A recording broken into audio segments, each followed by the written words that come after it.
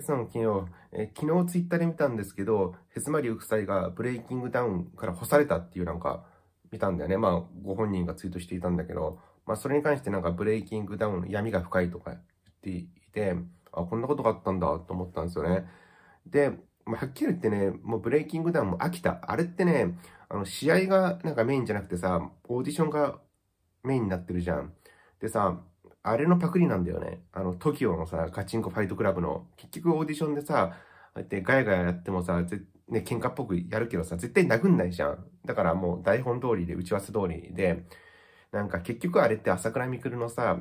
暇つぶし、朝倉未来のさ、なんか金持ちの娯楽だよね。で、あそこに全部お金が入っていくわけじゃん。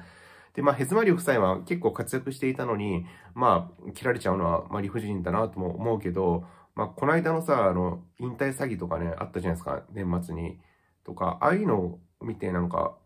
もうカットしようって思ったのかね。でも、あの、他に出てる人たち見ると、まあ、それと同じぐらいさんが、札付きの悪いやつばっか、おでんつんつん男とかさ、バン中村とかさ、だから、まあ、そんぐらいじゃ別に切んないと思うんだけど、なんで切ったのかを、まあ、正直俺もわかんない し、ああ、切ったんだ。まあ、あれも嘘かもしんないしね。まあ、何が何だかわかんないよね。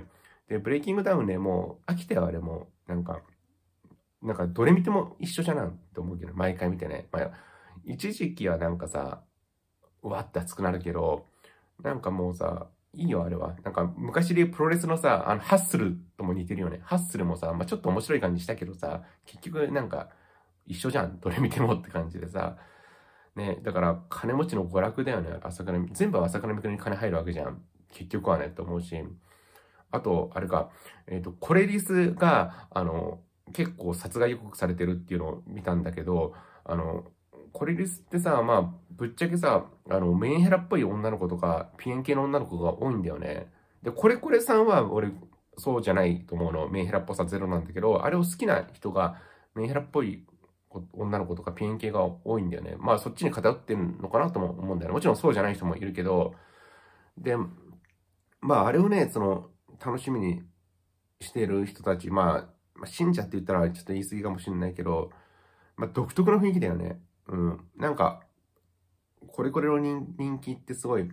なんか一人歩きしてる感じもするし、本当にこれこれの凄さ、良さ分かってんのかなとも正直思うんだよね。なんか、これこれが言うからってね、もう、一昔に前のさ、抹茶みたいな扱いされてるよね。で、殺害予告、なんかする側の気持ちっていうのもなんか、分からなくもない気がするんだよね。なんか、あとまあ、恨まれてるじゃん、そのこれこれってさ、あって暴露してるから、ね、その暴露された側のインフルエンサーとか、YouTuber にファンがいるわけで、で、これこれだけじゃなくて、これこれのね、ファンにその、標的が行くっていうこともあるよね。で、みんなこれリスっていうのはさ、私はこれリスです、みたいな、歌ってるじゃん、強く。で、連帯もあってさ、で、そこを責められるっていうのを、まあ、知らないかなって思うよね。まあ、ネット上ね、なんかよくあることじゃんって思うんですよね。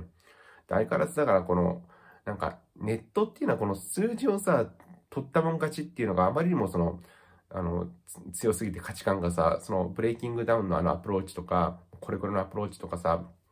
なんかさ、あの、悪い意味でのその刺激的なアプローチでさ、健全ではないよねって思うんだよね。だからもうちょっとなんかさ、